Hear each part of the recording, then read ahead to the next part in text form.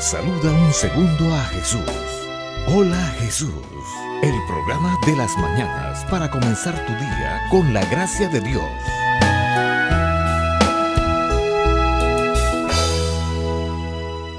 Muy buenos días a todos los que nos escuchan en la emisora diocesana Voz Day de la diócesis de Cúcuta, los que nos escuchan en la diócesis de Tibú y en otras partes del país y del mundo, los que nos siguen también a través de las redes sociales. Buenos días a todos ustedes. Ahora el Señor nos concede participar de sus bendiciones y en este día, en este jueves 16 de octubre, en que la iglesia celebra la memoria libre de Santa Margarita María de Alacoque, aquella monja, aquella mujer que llegó al estado de vida de la santidad y que el Señor le concedió las revelaciones de mm, las promesas hechas por medio del Sagrado Corazón de Jesús, ahora la iglesia nos concede participar también de sus bendiciones. Esta mujer ha recibido estas revelaciones de parte de Dios para bien personal, pero para bien fundamentalmente de toda la iglesia, de todos nosotros, que nos acogemos a la iglesia como madre.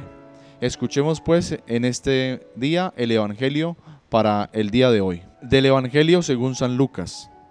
En aquel tiempo dijo el Señor, hay de ustedes que edifican mausoleos a los profetas después que sus padres los mataron.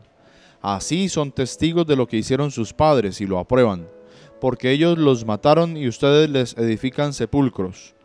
Por algo dijo la sabiduría de Dios, les enviaré profetas y apóstoles. Algunos los perseguirán y matarán. Y así a esta generación se le pedirá cuenta de la sangre de los profetas derramada desde la creación del mundo, desde la sangre de Abel hasta la de Zacarías, que pereció entre el altar y el santuario. Así, se lo repito, se le pedirá cuenta a esta generación.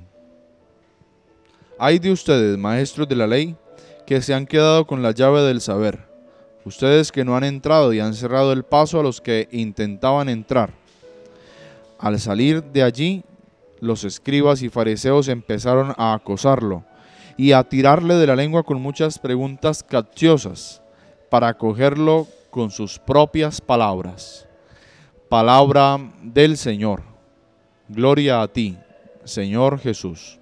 En esta mañana hemos escuchado en este Evangelio la continuación de los ayes de Jesús, este reclamo, esta lamentación que hace Cristo por las actitudes de aquellos que le escuchan, de la generación a la cual se dirige, también de nosotros, que muchas veces hemos sido cómplices de injusticias, de robos, de maldades de las otras personas que hemos preferido callar y que hemos preferido no hacer en nosotros el bien que Dios quiere que podamos realizar. Por eso que esta, esta lectura de este Evangelio nos ayude para que nos encuentre el Señor con el deseo de realizar en nosotros la voluntad de Dios. No vaya a ser que también Cristo se lamente de nosotros y nos diga, ay de vosotros, ay de vosotros. ¿Qué actitudes qué palabras, qué decisiones, qué acciones están causando que Jesús diga, ay de vosotros. ¿Cuál es aquella situación en la que nos encontramos por la cual Cristo se lamenta de nuestras vidas? Por eso que la celebración de esta mañana nos ayude a entrar en su voluntad.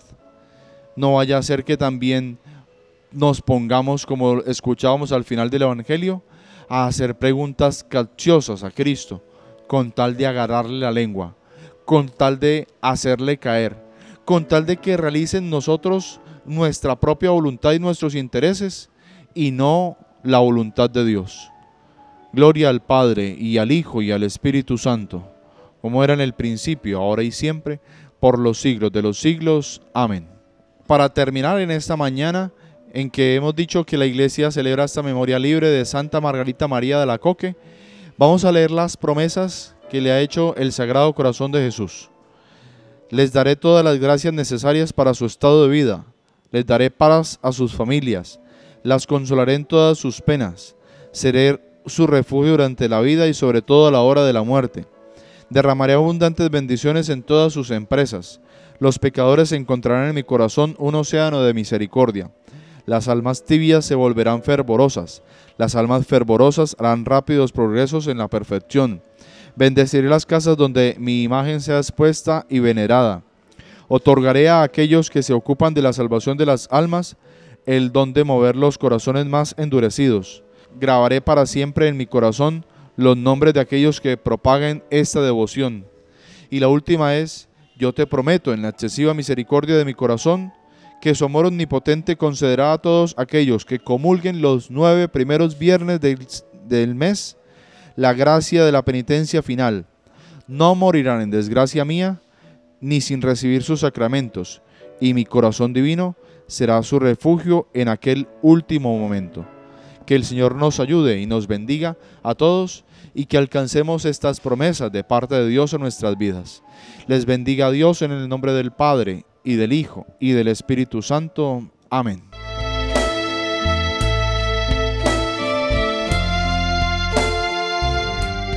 Saluda un segundo a Jesús. Hola Jesús, el programa de las mañanas para comenzar tu día con la gracia de Dios.